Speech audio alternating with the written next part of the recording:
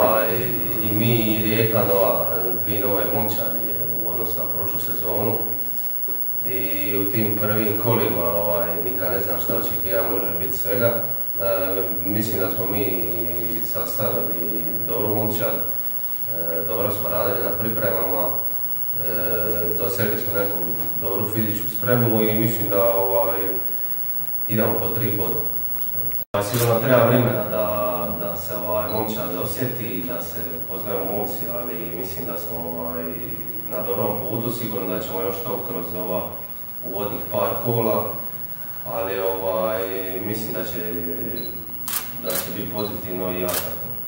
razmišljam. Ako igramo u devet, e, neće biti e, toliko vruće, mislim da će biti e, dosta dobro za igrat, nadam se da će doći publike u što većem broju i da će nas podržati do prva tri godine. Zadovoljan sam sa pripremama, mislim da ekipa veliku motivaciju imala da nešto nauči, da nešto prime, da jako nije bilo lagano, imamo dosta novih igrača, to puno se okrenulo u klubu, klub išto ima svoj projekat, gledamo da se svi na tome prilagodimo.